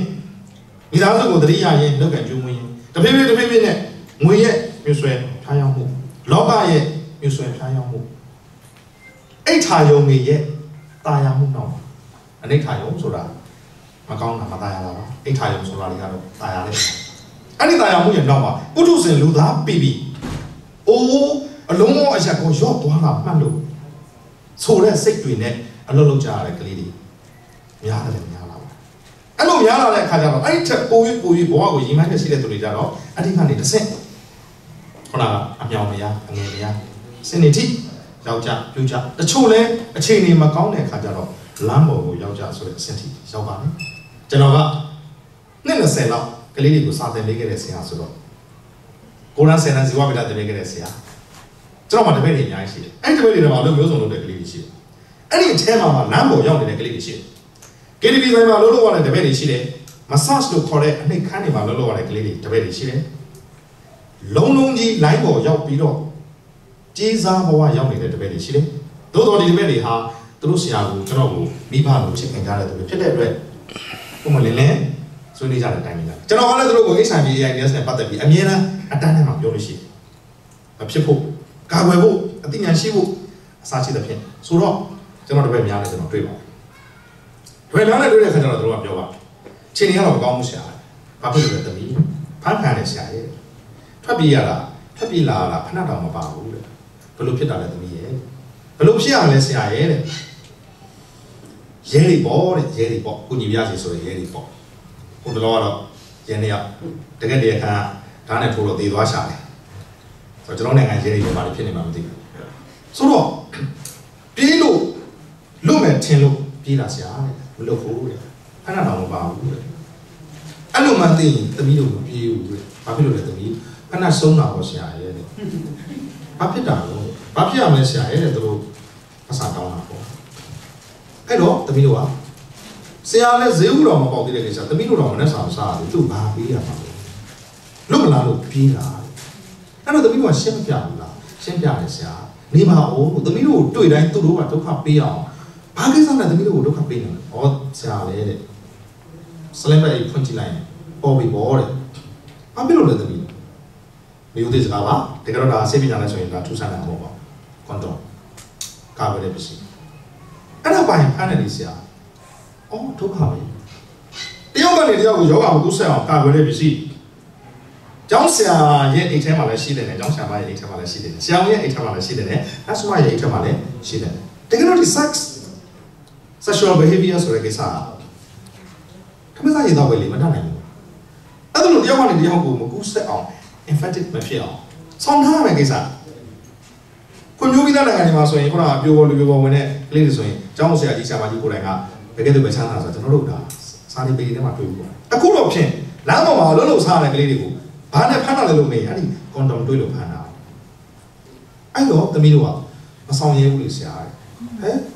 မဆောင်ဘူးဆိုရင်ဒီလိုရောပါလေကိုကုန်မှာပေါ့ဒါပြင်မဆောင်တော့လွတ်သလားလို့ပြီးတော့မဆောင်တော့လည်းမလွတ်ဘူးဆရာတဲ့ဘာဖြစ်လို့လဲသမီးဒီရုပ်ကြီးကမှတ်မိနေပြီဆရာအော်ဆောင်တော့လည်းမလွတ်ဘူးမဆောင်တော့လည်း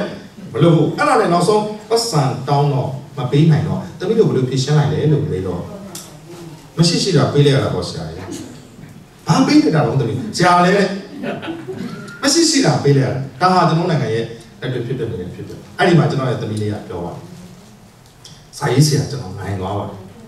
ဆရာတဲ့သမီးတို့ဟာသူတို့အမှုလိုရင်သူတို့အမှုလိုရင်ကျွန်တော်နိုင်ငံမှာရှိတယ်ဗျာအမှုလိုတဲ့ရဲတွေရှိတယ်ဗျာမော်တော်ဘိတ်ကကားမောင်းတဲ့သူတွေကိုဖမ်းတယ်မတလားကိုအမှု200တင်ရမယ်300တင်ရမယ်ဆိုရင်မပြည့်မချင်းဖမ်းတာ ဆိုတော့ရဲရမယ်ဒီတိုင်းပဲအမှုလိုရင်ရတဲ့ပုံမှန်နဲ့ဆောင်ရတဲ့ကိစ္စအဲ့ကျွန်တော်ဒီဘက်မှာလေးပြောရစရာသူတို့အမှုလိုရင်တမီးတို့ကသူတို့ရဲ့အမှုတွေပါဆရာသူတို့ပတ်စံလိုရင်တမီးတို့ဟာသူတို့ရဲ့ဘာနာထိုက်ပါဆရာသူတို့အသွေးအသားစာလောင်ရင်တသမီးတို့ဟာသူတို့ရဲ့ညာအိတ်ဖော်ပါဆရာဟာနေမဲစာရေးဆရာမလုပ်လိုက်ပါတော့တယ်စာရေးဆရာကိုနိုင်တော့အောင်လုပ်လိုက်ဆရာ သူတို့အမှုလို့ရင်ကျွန်တော်တို့ဟာသူတို့ရဲ့အမှုတွေသူတို့ပတ်စံလို့ရင်ကျွန်တော်တို့ဟာသူတို့ရဲ့ပဏ္ဍာသူတို့အသွေးအသားစာလောင်ရင်တော့ကျွန်တော်တို့ဟာသူတို့ရဲ့ညာအိတ်ဖော်တရားမှုတွေစိုးမိုးမှုမရှိခြင်းရဲ့နောက်မှာဘာမှမရှိလို့လောက်ကင်စားတော့ရပါလေဆိုမှဒုက္ခပေးတဲ့လုံးနိုင်ငံရဲ့အခြေအနေအဲ့တော့ဒီအခြေအနေကိုယူရပြီးတော့ဒါတွေဟာဘာကြောင့်ဖြစ်တယ်လဲနိုင်ငံရေးအခြေအနေတစုံတရာရိုက်ခတ်မှုအဲ့ဒီအပေါ်မှာလှုပ်ရှားကင်စားဆိုတဲ့ကလေးများပေါ်ပေါက်လာကြတယ် ဒါကိုကျွန်တော်တို့ထောင်ကြတန်းကြခံတဲ့ကြပြဆရာများဒီကနေ့အချိန်ထိတိုင်းပြည်နိုင်ငံရဲ့တော်လှန်ရေးအဆက်ဆက်မှာဘယ်တုန်းကမှနောက်တန်းအောက်တန်းမကြခဲ့တဲ့ကြပြဆရာများဖောက်ပြန်တဲ့ကြပြဆရာတချို့တလေရှိပါလိမ့်မယ်ကျွန်တော်ပြောနေတာအများစုကိုပြောနေတာပါလူငယ်လူလက်လူကြီးလူကြီးဆိုရင်ဆရာမောင်ဆုံးရဲ့အသက်ဆို65နှစ်လူကြီးထဲမှာပါနေပြီသူဟာဒါတော်လှန်တဲ့ကြပြဆရာရဲတော့ကြပြဆရာလူကြီးထဲမှာပါလာမယ်လူလက်ပိုင်းမှာဆိုရင်ကျွန်တော်တို့ပါမယ် လူငယ်ပိုင်းမှာကျွန်တော်တို့အောက်မှာငယ်တဲ့အသက်20အစိတ်30ရှိတဲ့လူငယ်ကြပြဆရာတွေပါချထောင်ကြနိုင်တယ်တန်းကြနိုင်တယ်ဆိုတော့တိတိနဲ့ဒီစာလေးဒီကြပြတွေကိုရေးတယ်မတော်စီရင်မှုတွေကိုပြုမှုဆောင်နေတဲ့လက်ရှိအာဏာရှင်အစိုးရရဲ့စန့်ကျင်ဘက်မှာတက်ပြတ်သားသားရက်တယ်ဒီကြပြဆရာတွေကိုဂုဏ်ပြုခြင်းနဲ့စိတ်နဲ့ကျွန်တော်ဒီအကြောင်းလေးကိုပြောပြခြင်းဖြစ်ပါအကြောင်းအရာမျိုးစုံထဲမှာဒီကနေ့ယူထားတဲ့အကြောင်းအရာဒီခေါင်းကဒီလိုလောက်ကင်စားတော့ရတဲ့ကလေးများရဲ့ဘဝအနေအထား ကျွန်တော်ပထမဆုံးစာပြောပြခြင်းတဲ့အကြောင်းအရာကြပြဆရာရဲ့နာမည်ကယိုးကိုလေးကြပြဆရာနာမည်ကိုတော့မှတ်မိစေချင်ပါတယ်ကြပြဆရာမှာသူ့ရဲ့ကလောင်သားလေးသူ့ရဲ့ဂုဏ်သိက္ခာဖြစ်ပါတယ်ယိုးကိုလေးကြပြဆရာယိုးကိုလေးကျွန်တော်လည်းဇော်လောက်ရှိနေငယ်လေးနည်းနည်းပေါ့သူ့ကြပြလေးကိုသူဘယ်တော့မှရေးခဲ့လဲဆိုတော့2012ခုနှစ်ကျော်ခဲ့တဲ့3နှစ်ပြုံးစရာမဂ္ဂဇင်းကျွန်တော်နိုင်ငံမှာပြုံးစရာမဂ္ဂဇင်းရှိတယ်။ရင်တော့ရည်စရာမဂ္ဂဇင်း ပြောကြပါကစင်2012နိုဝင်ဘာလမှာဟောပြခဲ့တဲ့ခင်ဗျာလေးဆိုတော့ကျွန်တော်ခင်ချင်းပြောဆိုထားတဲ့အကြောင်းအရာလေးတွေနဲ့ဖွဲ့တဲ့ခင်ဗျာဆရာပေါ့ခင်ဗျာရဲ့ကောင်းစဉ်ကနွယ်လေးခင်တခြင်းဆိုကံနွယ်လေးခင်ဆိုတဲ့ကောင်မလေးတခြင်းဆိုတဲ့အခါတကယ်တော့ခင်ဗျာကိုကျွန်တော်တို့ကရှင်းပြနေစရာ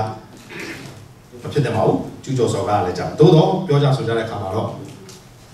ပြောဖို့ကိုလုံးလာတဲ့ ခါမျိုးမှာမဖြစ်မနေကျွန်တော်ပြောရပါတယ်ဒါကိုကျွန်တော်တို့ကနော်စိတ်စေတနာအဖြစ်စိတ်ကောင်းစေတနာကောင်းအဖြစ်သာဆောင်းရခြင်းဖြစ်တယ်ဆိုတော့လည်းပြောလိုပါတယ်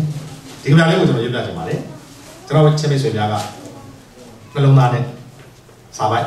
တစ်ခုချင်းတစ်စုချင်းကိုခန်းစားပေးစေချင်ပါလွယ်လေးခင်တချင်းဆိုများ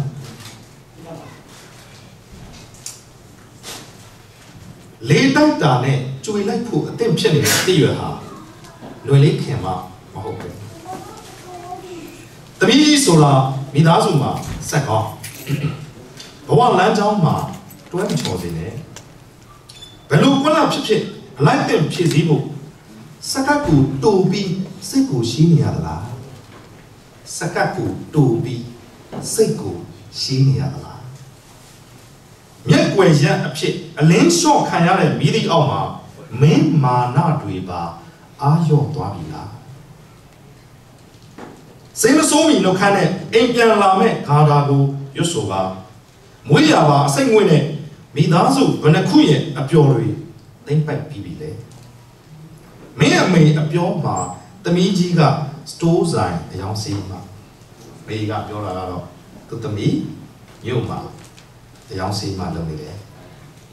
ဘယ်သူမှစစ်မင်းမနေဘူးတရွာလုံးယုံနေအသားလုံးကိုခရင်နဲ့ထိုးဆိုင်ယူလိုက်တယ်လို့ ဒဇစီပဲ့ပါသွားလာမင်းသိခါတွေပုတ်ဘူးလားအိမ်မပြန်ခြင်းအောင်ဖျားယောင်းနေရသမျှအိမ်မပြန်နိုင်သေးဘူးမှတ်ပါအိမ်မပြန်ခြင်းအောင်ဖျားယောင်းနေရသမျှအိမ်မပြန်နိုင်သေးဘူးမှတ်ပါအကိုကြီး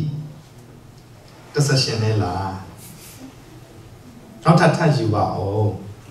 နှစ်ဆက်ရှင်လုံးလိုက်နော်ကိုကြီးနေပါဦးကိုကြီးရဲ့ အိမ်မပြန်ခြင်းအောင်မြူဆွဲနေရသမျှမင်းအိမ်မပြန်ရဘူးမှတ်ပါအချိန်ကြီးများမှာဆိုင်ကပူရောင်းပေါ့ percentage ခေါင်းက tip လို့ခေါ်တဲ့တွက်ချက်ထားတဲ့ကိန်းကဏ္ဍတစ်စုံတရာရ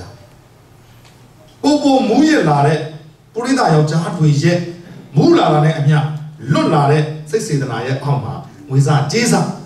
9000 1000 1000ရလာစရာအကြောင်းကြီးရှိမယ်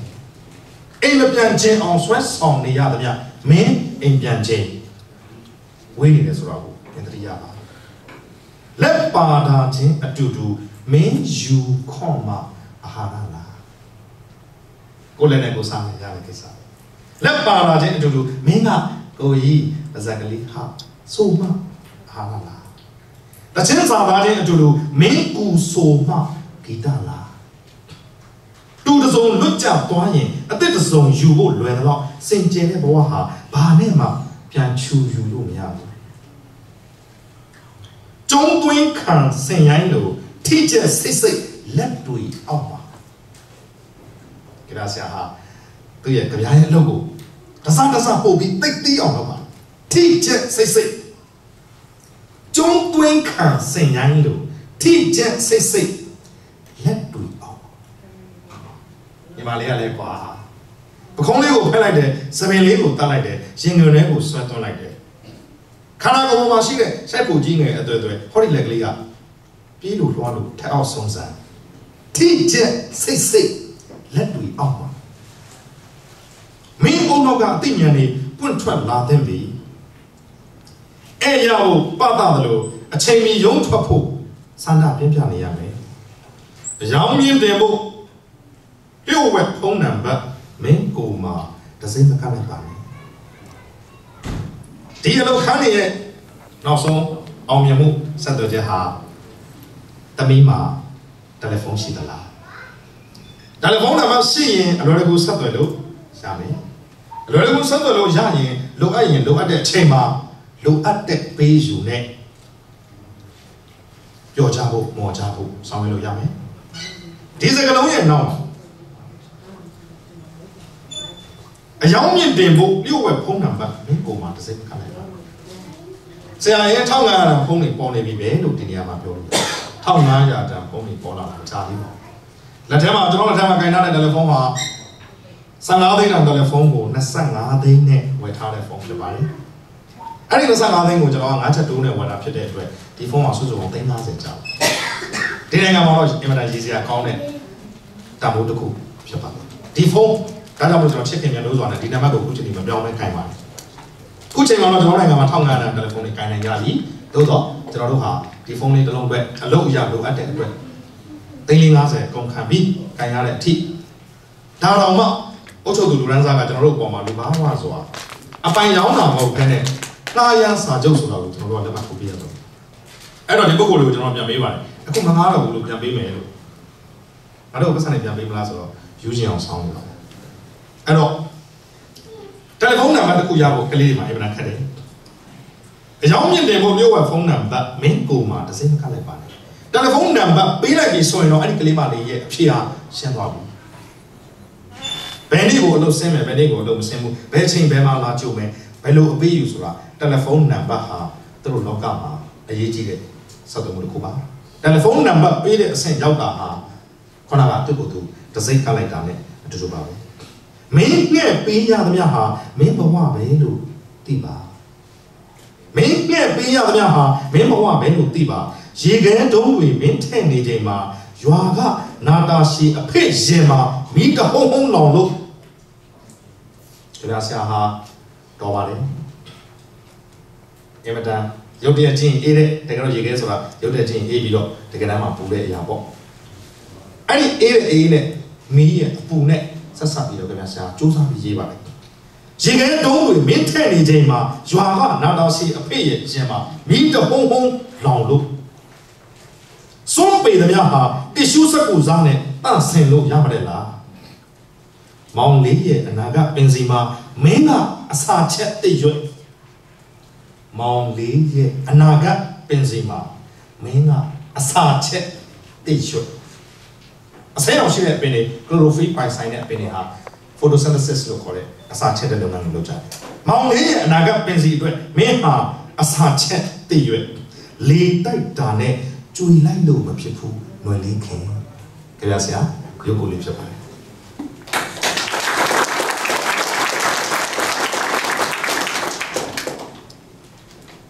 အနာဂတ်မောင်လေးအတွက်မင်းဟာပင်စီနဲ့တူတဲ့မောင်လေးရဲ့အနာဂတ်အတွက်မင်းဟာ အစာတွေကိုချက်နေရတဲ့တရွတ်တရွတ်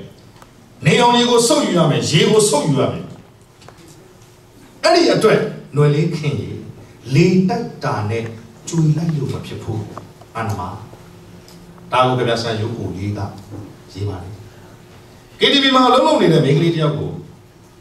ရရဆားဆားတမင်ငါတက်လက်ပြတ်တက်လက်နဲ့နေရတဲ့ကြပြဆရာကဘာကြောင့်ကြပြအဖြစ်တည်ကျူးတယ်လဲ sympathize sympathy အန်တီလို့ခေါ်တဲ့စာနာမှုတရားကလည်းပေါ်ထွက်လာတဲ့အမှုပညာရဲ့စိတ်စော်မှုနဲ့ဒီကြပြတွေကိုကျွန်တော်တို့ဖန်တီးပြီးတော့ရေးသားကြပါဖန်တီးရေးသားတဲ့ကြပြဆရာဟာဒီမိန်းကလေးကိုကဲတင်နိုင်တဲ့သူတယောက်မဟုတ်ဘူးကဲတင်နိုင်တဲ့အစွမ်းစားရှိတဲ့သူတယောက်အနေအထားမဟုတ်ဘူး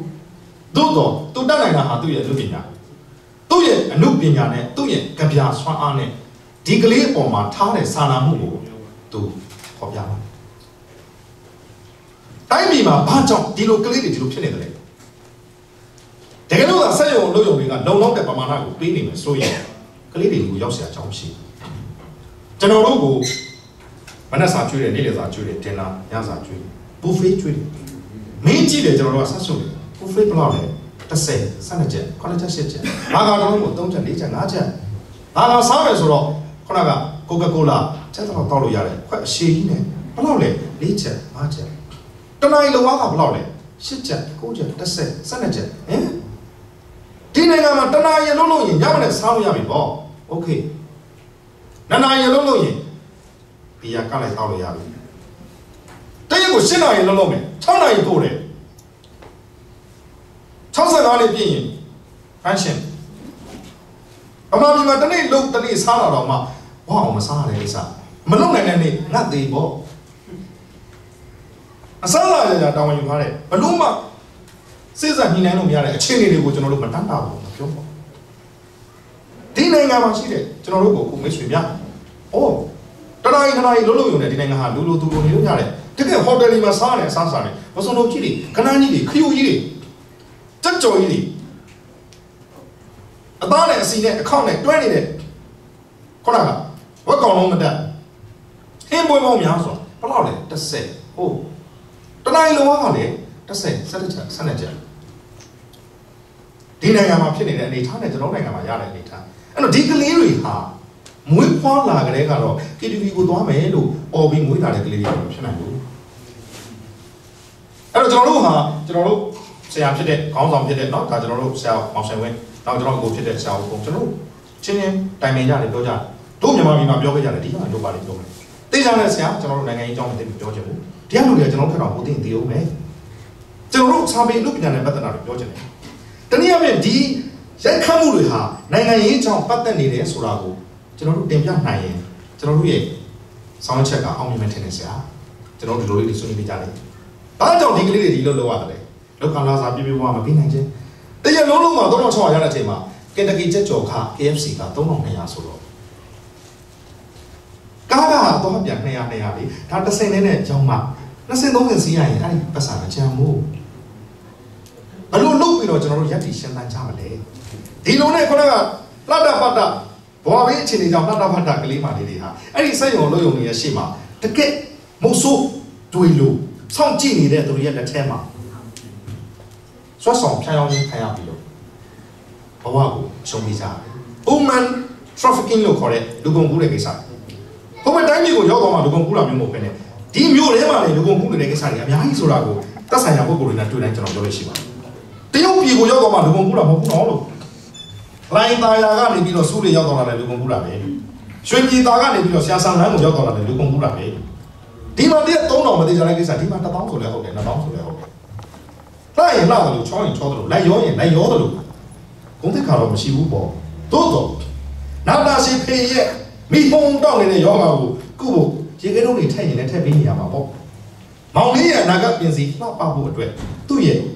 တည့်ရွက်တွေကိုချွေချခြင်းနဲ့ချွေချနေရမှာပေါ့။ဒါတွေကိုကျွန်တော်တို့ပြောလို့ဖြစ်ပါတယ်။ဒီနေရာမှာရိုကိုလေးရဲ့ကြပြာကိုပြောပြတဲ့အခါမှာဒုတိယကြပြာတစ်ပုတ်အနေနဲ့ရှင်းပါလေဒီကြပြာဆရာကတော့ကျွန်တော်လည်းအင်မတန်ရင်းနှီးတဲ့ကြပြာဆရာပါ။ကျွန်တော်ထက်ကြည့်ပါတယ်။မောင်ရှင်စော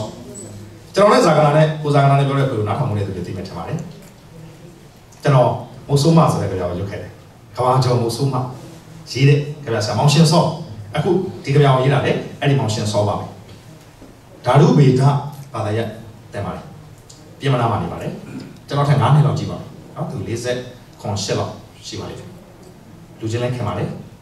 အခုသူ့ရဲ့ကြပြောင်စာအုပ်တစ်ထွက်ပါလေကြပြောင်စာအုပ်ရဲ့နာမည်က KTV တဲ့အဲ့တော့ဆောင်းကရုပ်ကိုလေးက2000နဲ့12ခုနှစ်မှာရေးခဲ့တဲ့ကြပြောင်ဒီကြပြောင်ကလည်း2012ခုနှစ်ယတိမဂ္ဂဇင်းမှာ ဖော်ပြခဲ့တဲ့ကြပြောင်ပါပဲနော်ဒီမှာကျတော့ကျွန်တော်အများကြီးမရှင်းပြတော့ဘူးပထမတော့မှာကျွန်တော်တော်တော်များများပြောပြီးဖြစ်တဲ့အတွက်ဒီကြပြောင်ကိုတော့ကြပြောင်အသားအနေနဲ့ပဲကျွန်တော်ရုပ်ပြချင်ပါတယ်ခေါင်းစဉ်က KTV စင်ရမွေးတည်နေတဲ့ Latin America ကလေးငယ်35တန်းအတွက်ရှက်ကီရာဟာသူမရဲ့လုံးဝင်းနဲ့တင်ပါအီအီတွေကိုဝေရန်လှုပ်ခါပြလိုက်တယ် စင်ရတော်မှာတဲ့ Latin America 35တန်းအတွက်ရှက်ကီရာဟာသူ့ရဲ့လှပတဲ့တင်ပါလုံးလုံးဝင်းတွေကိုလှုပ်ခါပြလိုက်တယ်အန်ဂျလီနာဂျိုလီလှစ်ဟပြောက်လိုက်တဲ့ညဝိအင်ကြီးတဲကပန်းနုရောင်ပေါင်တန်တွေဟာအာဟာရချို့တက်နေတဲ့အာဖရိကဒုက္ခတယ်တွေစီတပွဲပွဲဝင်လာမဲ့ရမုံငွေတွေပဲကဲဘာထူးလို့လဲကျမမောင်လေးနောက်နှစ်ကျောင်းဆက်ထားနိုင်ဖို့ တိုးစော်နန်းနေတဲ့အဲ့ဒီအစီတထအသားတထခန္ဓာကိုယ်ကြီးတွေကိုကျွန်တော်ဘယ်သူမှဆောင်းပြောတာမဟုတ်ပါဘူးနော်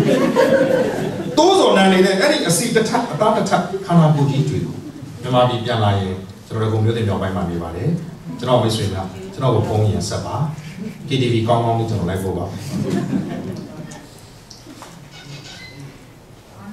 တိုးစော်နန်းနေတဲ့အဲ့ဒီအစီတထအသားတထခန္ဓာကိုယ်ကြီးတွေကိုကျမအခုနှိပ်ပေးနေရတယ် ကျမအမေမြန်မြန်နေပြန်ကောင်းလာအောင်လို့ကျမစကတ်တွေတဖြည်းဖြည်းတိုးတိုးလာရစောတော့ကလည်းဆရာမလည်းစကတ်ကိုတိုးပြီးတော့စိတ်တွေကိုရှည်နေရတယ်ဆိုတဲ့စကားစုတစုပါတယ်သူတို့ကတော့2017ထဲမှာရေးကြတာကျမအမေမြန်မြန်နေပြန်ကောင်းလာအောင်လို့ကျမစကတ်တွေတဖြည်းဖြည်းတိုးတိုးလာရတယ်တလောက်တလောက်အနှင်းမီအောင်အိမ်စရိတ်ထောက်ဖို့အရေး ရှင့်ကိုအကျဉ်းသားတွေပေးပေးနေရတယ်အိမ်စရိတ်ပြီးဖို့အတွက်အစီတထအသားတစ်ထကြီးကိုနော်ကျဉ်းသားတွေပေးပေးနေရတယ်ကောင်းအောင်ကောင်းဝယ်ဟုတ်တယ်ဟုတ်ဟုတ်တယ်ဟုတ်ဆိုတဲ့စကားလုံးလေးကကျွန်တော်ခေတ်စားနေတဲ့စကားလုံးလေးပါဟုတ်တယ်မဟုတ်လားလို့ပြောတော့ဟုတ်တယ်ဟုတ်ကျွန်တော်ကလေကျွန်တော်ကလေပြောတော့ Facebook မှာကြော်ရလေကြော်ရလေဘဝအကောင်ပြောတော့ဘွားဘွားဘွားဘွားဘလို့ပြလိုက်ဘွားဘောပြလိုက်တင်ပြလိုက်စားတင်ပြ အဲဒါမျိုးပေါ့ခုခေတ်စားနေတဲ့စကားလုံးလေးနော်ကြာရင်တော့ဒီမှာစကားရစရာကြမ်းမှာမဖြစ်ပါဘူးတို့တော့အဲ့ဒီ live ပေါ်မှာရှိတဲ့စကားနဲ့ paper ပေါ်မှာရှိမှဟာဒါလည်းကျွန်တော်တို့ဆောင်းရမယ့်ကိစ္စပါနော်ဒီခါတည်းမှာဘာရေးလဲလို့ပြောတော့စဉ်းစားကြည့်တော့ကလေးမလေးတယောက်ဆရာတဲ့ဗျာပေါ့ဆရာဆိုတော့ဗျာပေါ့အင်္ဂလိပ်ကနာ8 E I G S T 8ဒါမှမဟုတ်အင်္ဂလိပ်ကနာလို့ရေးတော့ကနာ8နောက်ကရေးထားတာ English alphabet, one of the alphabet, P, P. A? P. ဘာလဲဟဲ့နေအိပ်ပြီလေဆရာတဲ့အိပ်ပြီတဲ့နင်တို့ကလည်းဟာလို့အိပ်ပြီတဲ့ဆိုတော့အင်းစိတ်ထောက်ဖို့ရေးရှင့်ကိုအကျဉ်းတော်တွေပြပြနေရတယ်ကောင်းကောင်းကောင်းပဲဟုတ်တယ်ဟုတ်ကျမတို့အထယ်တွေမချုပ်ကြတော့ဘူးကျွန်တော်ခဏစကားတွေပြောခဲ့ပါတယ်နော်ကျမတို့အထယ်တွေမချုပ်ကြတော့ဘူးတဲ့စိတ်ယုံတွေပိတ်သွားပြီ ကျမတို့အရန်လဲမလုပ်နိုင်ကြဘူးလေခွန်အားနဲ့အတတ်ပညာတွေဈေးပေါ်နေတဲ့ခေတ်ကြီးထဲမှာဈေးကောင်းရတာပဲကျမတို့ရောင်းစားလိုက်ကြလို့လေခွန်အားနဲ့အတတ်ပညာတွေချုပ်တက်နေတဲ့အခါကျတော့ဈေးကောင်းရတာပဲကျမတို့ရောင်းစားလိုက်ကြတော့လေကျမနာမည်လားတဲ့အမေပေးကြတော့တော့မေတ္တိရဲ့တဲ့ကျွန်တော်အကူများသိပါလိမ့်မယ်မြန်မာနိုင်ငံရောက်ဖို့ရင်တမီးနာမည်ကခရီးလေးကိုတမီးအောင် ဇွန်ပွင့်တမီးကနှင်းစီဘာဒီမှလည်းမသိဘူးပတ်ပုံနေတဲ့နာမည်နဲ့သူတို့ရဲ့ပန်းနာမည်တွေနဲ့နော်ကျမတို့ပြန်လဲမလုပ်နိုင်ကြဘူးလေခွန်အားနဲ့အတတ်ပညာတွေဈေးပေါနေတဲ့ခေတ်ကြီးထဲမှာဈေးကောင်းရတာပဲကျမတို့ရောင်းစားလိုက်ကြတော့ပဲကျမနာမည်လားအမေပေးခဲ့တော့တော့မေတ္တိရဲ့ကျမနာမည်ကျင်းစင်ကျမနာမည်နနခင်းကျမနာမည်တာယာကျမနာမည်အလင်္ကာနာမည်တွေမျိုးဆို ကျမနာမည်ကျင်းစင်ကျမနာမည်နနခင်းကျမနာမည်တာယာကျမနာမည်အလင်ကဟုတ်တယ်လေကျမတို့မတည်မြဲကြဘူးကျမတို့ဟာလျှက်စီးချောင်းနဲ့ပတ်ကြားအပ်နေတဲ့ဝတ်တိမ်တွေပဲကျမတို့ဟာလျှက်စီးချောင်းနဲ့ပတ်ကြားအပ်နေတဲ့ဝတ်တိမ်တွေပဲကွက်ကြားမိုးတွေဖွံ့ဖြိုးတိုးတက်လာချိန်မှာဝါကနေပေါက်ရောက်လာတဲ့မိုးဦးမိုးဝင့်တွေပဲစီးစင်းနေတဲ့ငွေကြေးစည်ရင်စရာတွေဘေးမှာကွေးညွတ်နေတဲ့ မြစ်ကျိုးအင်းတွေပဲစီးစင်းနေတဲ့ငွေကြေးစည်ရင်စရာတွေဘေးမှာကွေးညွတ်နေတဲ့မြစ်ကျိုးအင်းတွေပဲရှော်ဖို့ပြီးမိဘူးတိုက်ထားတဲ့ဘေဒုတ်ထဲကိုကြည့်တယ်လို့ရှင်ကျမကိုမကြည့်ပါနဲ့ရှော်ဖို့ပြီးမိဘူးတိုက်ထားတဲ့ဘေဒုတ်ထဲကိုကြည့်တယ်လို့ရှင်ကျမကိုမကြည့်ပါနဲ့ရှင်းစကားနဲ့ကျမကိုအဖျားခတ်လိုက်ပုံကကျမတို့ကပဲ သူများအိမ်တော်ရေးတွေအပေါ်လမ်းကျိတ်ဆက်တက်မောင်းနေတယ်လို့ကျမတို့ကပဲသူများမိသားစုတွေကိုကြော့စိတ်မှာမှုတ်အိတ်ဖွင့်နေတယ်လို့လို့ကျမတို့ကပဲရှင်တို့ရဲ့တိတ်ဆိတ်နေတဲ့ယဉ်ကျေးမှုဆံမျက်နှာတွေကိုပလုတ်တုတ်ခောက်နေတယ်လို့လို့အချစ်တဲ့ရှင်လေးချင်းတက်လိုက်နေသလားသိကောင်းပါလေအချစ်တဲ့အချစ်တဲ့ရှင်လေးချင်းတက်လိုက်တာလား ကျွန်တော်တို့ဒီနောက်တိုင်းမှာလေးချင်းတက်တာဟာအင်တာရိုင်းဆိုင်တဲ့အယူမှုတစ်ခုဖြစ်ထားကြပါလေနော်ဆိုတော့အချစ်တဲ့ရှင်လေးချင်းတက်လိုက်သလားဘီယာဇော်နာလိုက်တာဟုတ်ပါတယ်ဟုတ်ပါတယ်ကျမတို့အလုပ်ကဒလာစီမင်းစီကံနဲ့မကန့်ညီပါဘူးကျမတို့ဘဝတွေကလည်းဝက်ကြတိဆောက်ဖို့မမှန်ကန်ပါဘူးဒလာစီမင်းစီကံမကိုက်တယ်လို့ဝက်ကြတိဆောက်ဖို့လေမမှန်ပါဘူး ဒါပေမဲ့ဒါမှအမောင်နဲ့ချိန်တွယ်ရတဲ့ဝန်ဆောင်မှုပါရှင်သိကောင်းပါလေဒါဟာအမောင်နဲ့ချိန်တွယ်ရတဲ့ဝန်ဆောင်မှုပါရှင်အမ်ဘာပါလီအစမော်နီကာဘယ်လူချီအဆုံးကျမတို့အားလုံးဟာရှင်တို့ယောက်ျားတွေရဲ့လျှို့ဝှက်တဲ့စက်ယုံမှာအချိန်ကိုဆင်းရတဲ့ခွေးသားစိတ်တွေပါလေ အမ်ဘာပါလီအစမော်နီကာဘယ်လူချီအဆုံးကျမတို့အားလုံးဟာရှင်တို့ယောက်ျားတွေရဲ့လျှို့ဝှက်တဲ့စက်ယုံမှာအချိန်ကိုဆင်းရတဲ့ခွေးသားစိတ်တွေပါပဲအချိန်ကိုဆင်းရတဲ့ခွေးသွားစိတ်တွေပါပဲတကယ်တော့ကဘာကြီးပူနွေးလာရတာလဲကျမတို့လည်းမဆိုင်ပါဘူး။အိုစမန်ဘယ်လာရင်တေဆုံးသွားမှလည်းကျမတို့နဲ့တခြားစီဒေါ်လာဈေးကမောက်ကမဖြစ်အောင်ကျမတို့ခါမှမလုပ်ခဲ့ဘူးပဲ။ကျမတို့ကိုရေးကြီးခွင်ကျဲကြပြစမနေပါနဲ့။ ကျမတို့ကိုရေးကြီးခွင်ကျဲကြပြစမနေပါနဲ့ရှင်ရဲ့။ဒေါ်လာဈေးတက်အောင်လည်းကျမတို့မလုပ်ခဲ့ပါဘူး။အိုစမန်ဘယ်လာနဲ့တက်အောင်လည်းကျမတို့မလုပ်ခဲ့ပါဘူး။ဘောစီနော်ဘောစီကျွန်တော်တို့ဘောစီလို့ခေါ်ပါတယ်ဘောစီနော်ဘောကဲကြီးတဲ့6ပြားနဲ့ရှင်ကျမကိုဒီအတိုင်းပြစ်မထားခဲ့နဲ့哦ဘောစီဘောစီဘောကဲကြီးလေးတစ်ပေါ့တပည့်6ပြားနဲ့ရှင်ကျမကိုဒီအတိုင်းမထားခဲ့နဲ့哦โอเค ဒီငယ်ကျွမ်းဆွေတပုတ်ဆိုပြီးသွားရင်တဆက်ရှင်စာအချိန်ပြည့်ပြီငယ်ကျွမ်းဆွေဒီတရားလေးပေါ့မမေ့နိုင်ဘူးငယ်ကျွမ်းဆွေတပုတ်ဆိုပြီးရင်တဆက်ရှင်စာအချိန်ပြည့်ပြီနောက်တစ်ခါလဲကျမတို့စီကိုဒီလိုစင်တွေတအုပ်ကြီးနဲ့ဒီလိုစင်တွေတအုပ်ကြီးနဲ့အားလုံးကပြောတာပါ စင်တွေတအုပ်ကြီးနဲ့လာရောက်အားပေးနိုင်ပါစေ thank you bye bye see you fly kiss ကြပါစရာမောင်ရှင်ဆော့ဖြစ်ပါ